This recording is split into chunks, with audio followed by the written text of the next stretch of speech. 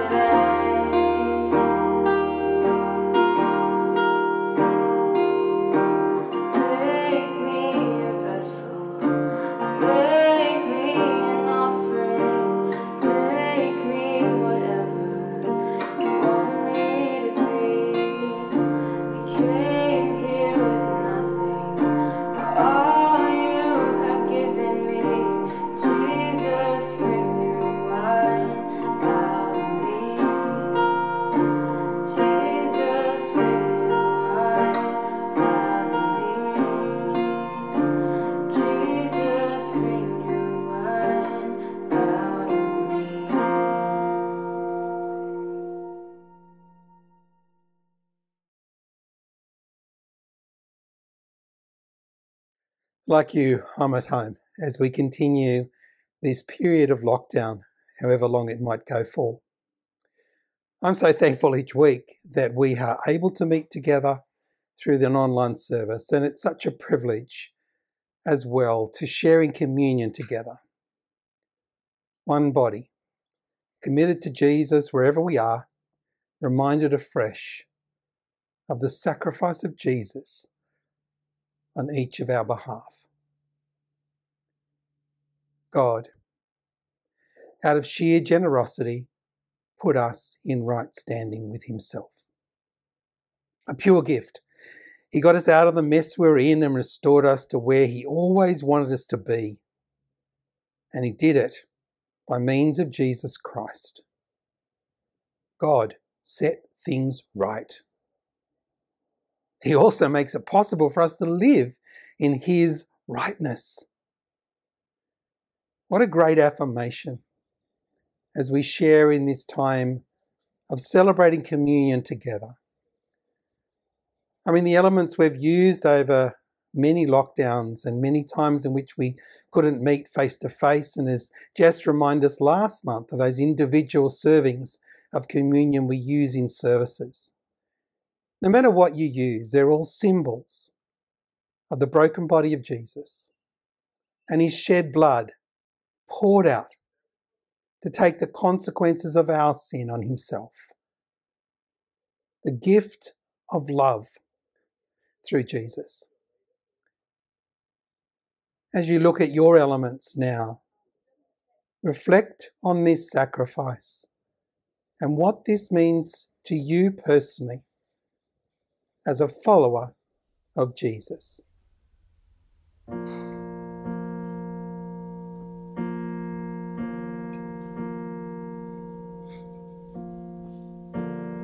Jesus, on the night of his betrayal, took bread. Having given thanks, he broke it and said, This is my body, broken for you. Do this to remember me.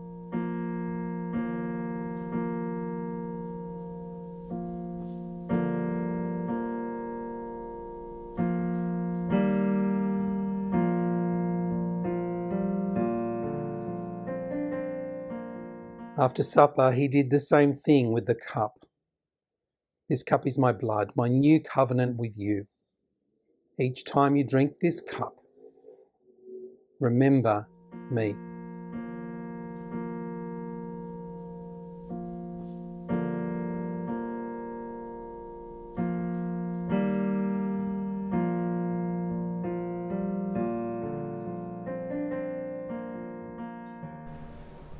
Let us draw near to God with a sincere heart and with the full assurance that faith brings. Having our hearts sprinkled to cleanse us from a guilty conscience and having our bodies washed with pure water.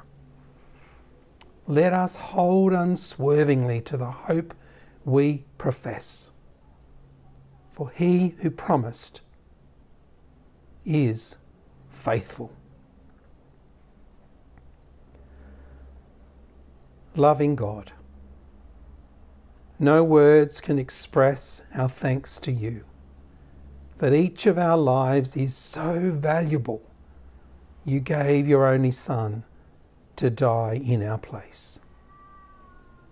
We offer ourselves afresh to you as a living sacrifice through Jesus Christ, our Lord and Saviour. Equip us in the power of your Holy Spirit to live and work for your praise and glory.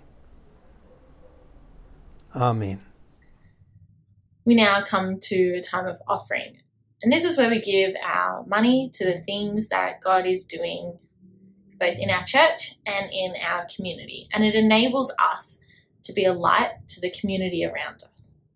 Why don't you join with me as I pray? Heavenly Father, we thank you that you have given to us so that we might be able to give back to you. God, we acknowledge that the things that we have, uh, we wouldn't have apart from you. Uh, and so we thank you for that. Help us to use our money and our time and all the things that we have wisely as we seek to be your light to our community and the people around us. We pray this in your Son's almighty name. Amen. Let's pray.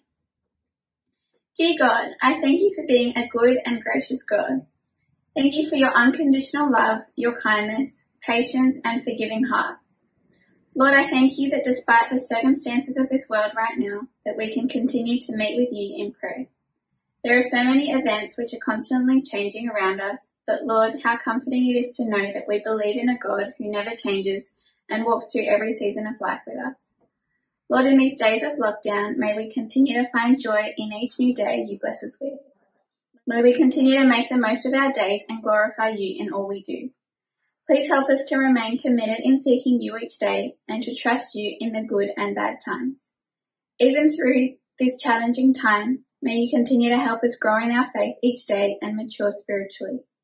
May we continue to serve you faithfully during this time, and although we can't meet together for the various ministries this church holds, we pray that we will remain faithful and dwell in your presence as a body of Christ.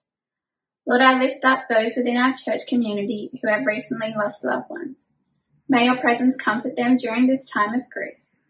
We pray for those who have loved ones who are currently suffering from the virus.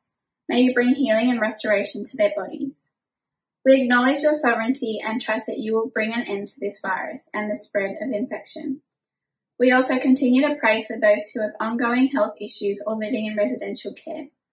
Please be with them, especially during this time of isolation when loneliness may be experienced, especially when the, with the visiting restrictions in place.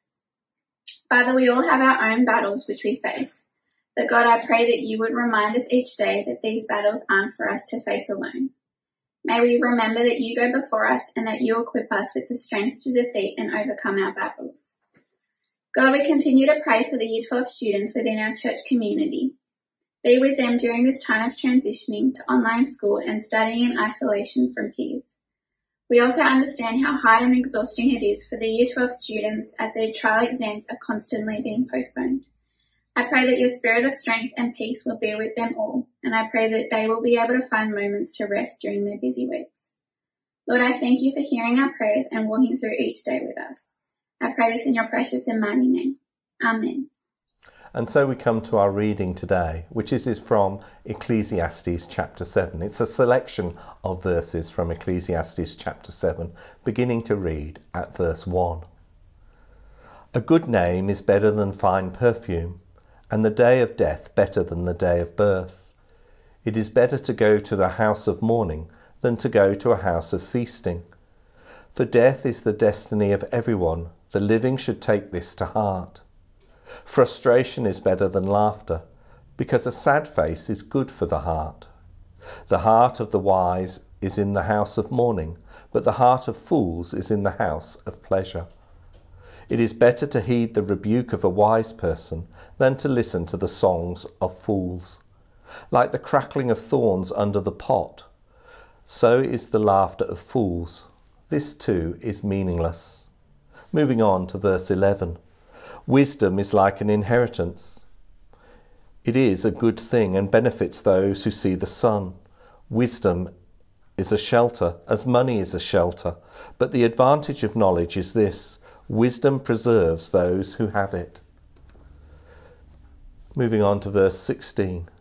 Do not be over righteous, neither be over wise. Why destroy yourself? Do not be over wicked, and do not be a fool. Why die before your time? It is good to grasp the one and not let go of the other. Whoever fears God will avoid all extremes. Wisdom makes one person more powerful than ten rulers in the city. Indeed, there is no one on earth who is righteous, no one who does what is right and never sins.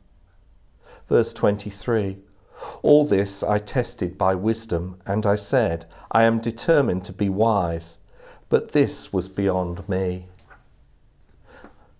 Verse 29 This only have I found God created mankind upright, but they have gone in search of many schemes. May God bless the reading of His word. Amen. I had a laugh last week when Andrew sent me his draft for his chapter 6 sermon. His initial reaction to his chapter oh no, more death, oppression, the relentless pursuit of wealth. My reaction to chapter 7 at first, oh no, more proverbs and unlinked words of wisdom. Clearly, the teacher doesn't make a good first impression, but the treasure is there to be found. So let's pray.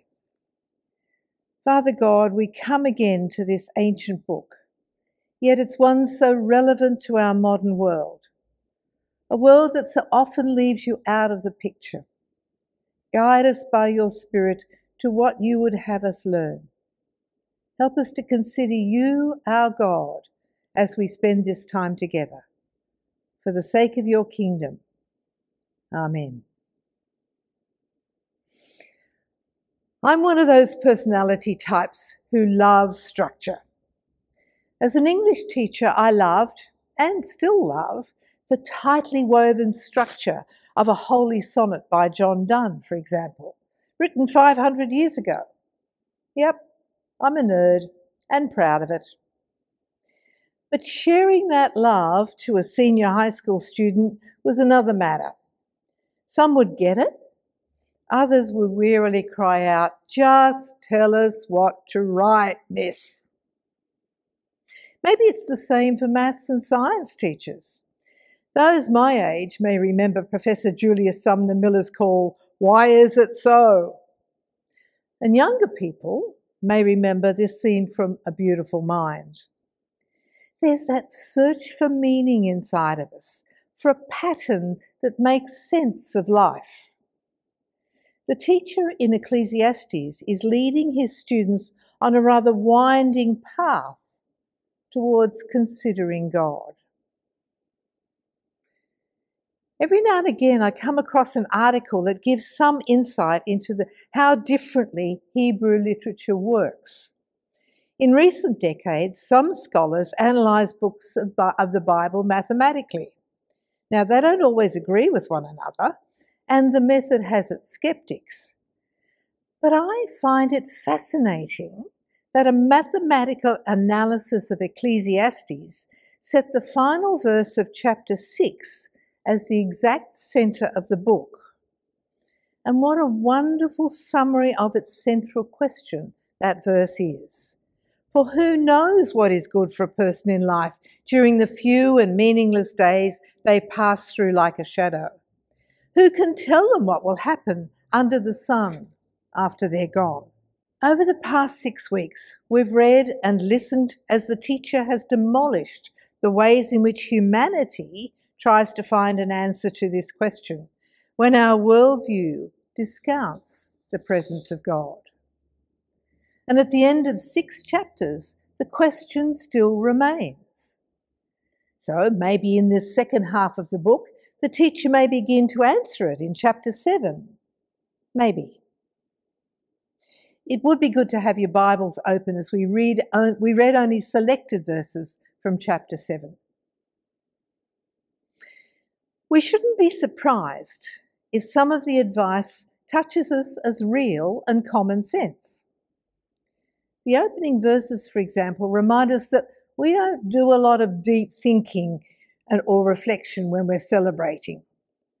Our emotions are high and light and excited. We're simply enjoying ourselves. And there's nothing wrong with that. Remember those times when we could actually go out and have dinner with a friend? I managed to sneak in a trip to Broken Hill just before this latest wave of COVID. I was so glad to have enjoyed and learned from the many different experiences in that area. But I suspect the teacher would ask me, How long will your memories remain? Or will they end up just as more photos in a file on the computer? But the contrasting statements of the teacher in these opening verses are very different to the way we want to see our world. And they're hard to hear, and particularly difficult at a time when, in the life of our church, individual families, and our church family are mourning the loss of loved ones. it is hard to read, it's better to go to the house of mourning than go to the house of feasting. Whether we want it or not, the death of a loved one or a friend reminds us of our own mortality, sometimes with a dreadful shock, sometimes with the slow and increased frailty of illness or aging. The message version of verse 2 is a bit confronting. You learn more at a funeral than at a feast.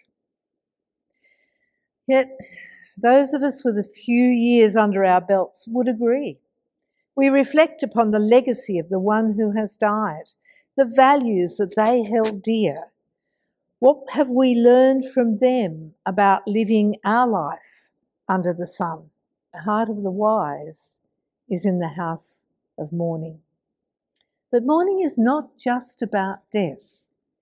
In a recent edition of the Hope 103 online magazine, Ellie Holcomb says this about going to the house of mourning. It's not my normal.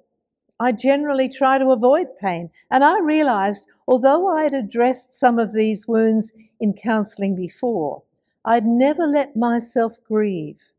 I'd never let myself lament.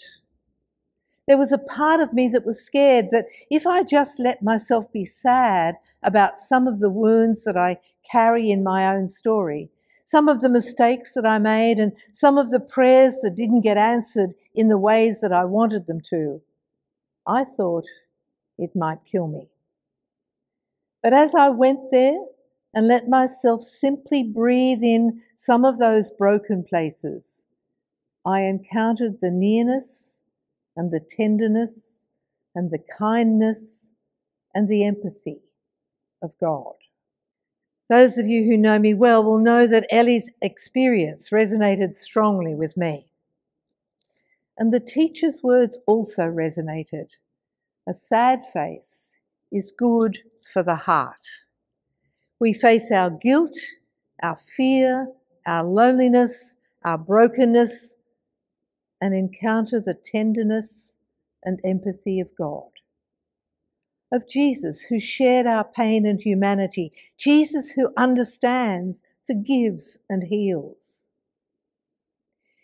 In those short verses of advice from the teacher, Jesus is a world of truth if you truly consider God as central to your under the sun world. What's the opposite to this ability and willingness to reflect on life, on sadness and mortality? The teacher uses an image to describe the song and laughter of fools. The laughter of fools is like the sound of crackling thorns under the cookpot. Just a brief bit of context about thorn bushes in the ancient Middle East. Have you ever wondered in Jesus' parable about the sower why farmers didn't simply just pull out the thorn bushes before planting the seed. Well, they did, mostly. But some were deliberately left on the edges of the field to provide quick firewood to cook lunch out in the fields rather than trudge maybe a kilometre or so back to the village for lunch and then back again.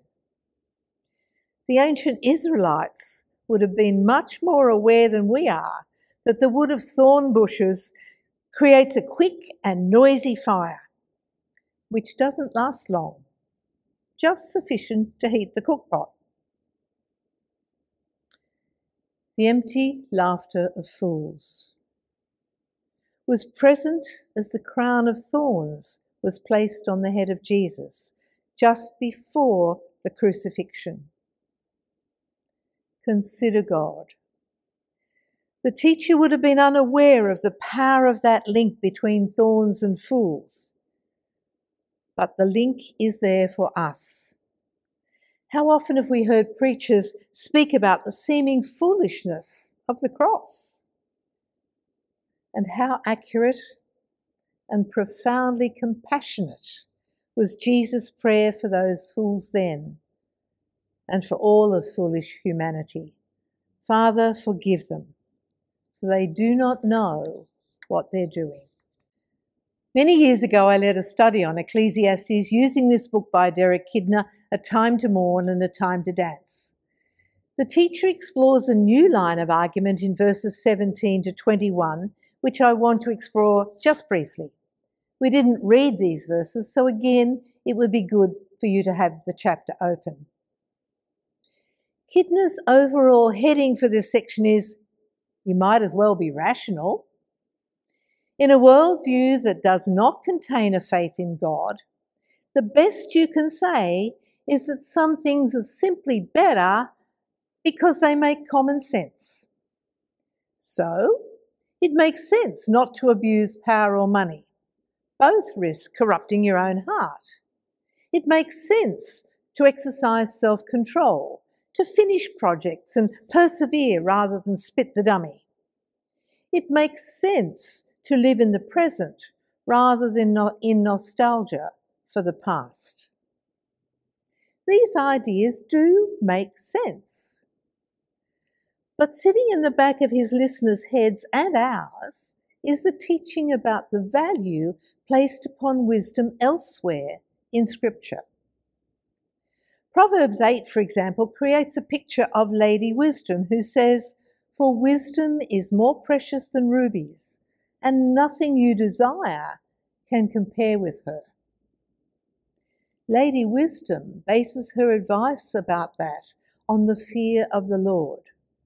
Wisdom is the creation and gift of a holy God. Wisdom is the source of life and blessing to those who find her.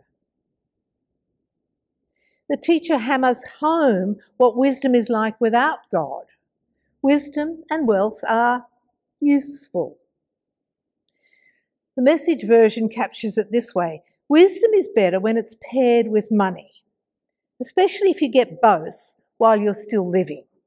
Double protection, wisdom and wealth. Notice the tone. Wisdom and wealth are useful while you're still living. Wealth never satisfies. It just leads to a hunger for more. It was a theme of both chapters 5 and 6 that Andrew and Jess looked at. Now the teacher extends that idea. Well, maybe wealth combined with wisdom would work better. That sounds rational, doesn't it? Double protection. But not beyond the grave. Sorry. The teacher pushes the rational approach just one step further. And the argument is both ancient and modern. If God is in the picture, which he argued for strongly in the last chapter, and if God is in total control, what about that age old conundrum of injustice? In this meaningless life of mine, I have seen both of these the righteous perishing in their righteousness, and the wicked living long in their wickedness. The teacher's rational answer is at one level seemingly outrageous and yet disturbingly true if you're only giving grudging assent that God is part of the picture. So, if you're being rational, you'll walk the fence. Not too much righteousness, not too much wickedness, just keep a nice balance. It's good to grasp the one and not let go of the other, Whoever fears God will avoid all extremes. So says modern humanity. Don't push your luck if God is in the picture. That's rationality for you. After all, as the teacher concludes in verse 20, there's no one who does what is right and never sinned. No one's perfect. And the teacher reinforces this by something we all learn about ourselves in time the very thing, sins we are so quick to spot in others are probably the ones we are most guilty of hiding from ourselves. It all sounds uncomfortably familiar, doesn't it? You're only human. Don't beat yourself up about it. Be rational. So, where does this leave the teacher and that central question. Or who knows what is good for a person in life? Those of us who've tried to explain deeper issues will almost certainly have had the question so, what do you think? Where do you stand on this issue? Often the best answer is an honest, I don't know. Sometimes it's appropriate to share a little of our own experience as we've journeyed to try and find this. The teacher does a little of both. So there's the honest confession all this I tested by wisdom, and I said, I'm determined to be wise. But this was beyond me. Then comes the self revelation of his own experience, the elephant in the room for a female preacher. I found more bitter than death the woman whose heart is a trap. She will ensnare you. I found one upright man among a thousand, but not one upright woman among them all. Self revelation can be a bit awkward at times, can't it? And you may be thinking, what's she going to do about all of that? Well, maybe the message version captures his disillusionment a little bit better. I didn't find one man or woman in a thousand worth my while. And I'm happy for you to address any other questions to either Andrew or Howard about that particular point. So is chapter 7 like all the others after all? Two more areas explored without answering that fundamental question. The teacher has one final comment to make about the only thing he can be sure of at this point. And I use the rather graphic expression of the message. Yet I did spot one ray of light in this murk. God made men and women true and upright. We're the ones who've made a mess of things. But I want and I must link this verse back to verse 20. From the pen of the teacher, writing centuries before the time of Jesus, comes echoes of the gospel. Humanity, God's final and beautiful creation, made a mess of things and could not do what is right. Indeed, there is no one on earth who is righteous, no one who do, does what is right and never sins. But then Jesus, the promised Messiah, prophesied in the Psalms and Isaiah, Jesus who chose to become one of us, Jesus who chose to live among us without sin, and who chose to become our Saviour and our Lord. Consider God. Yes, as the teacher says, we can factor God into our life and rationalize our way through time, our time under the sun. We can make God an insurance policy God, to be feared because to do otherwise simply doesn't make sense. Or, or we can take on board that we're the ones who've made a mess of things and hear the difference that a true relationship with God can make in our grief and our trouble. And we can hear, even in this ancient text, the echoes that point us to Jesus, who lived a sinless life, wore a crown of thorns, and died in our place. The Holy Spirit wants to lead us to Jesus this morning wants to lead us to consider God. Pray. Pray with me. Father, the challenge is there. We have a choice to make to live with you just as useful or something to someone to be feared because it makes sense, or someone who is inviting us into a deep, eternal relationship with yourself because of the sacrifice of Jesus. Help us to value that second choice, beyond all others. And we pray this in your Son's name. Amen.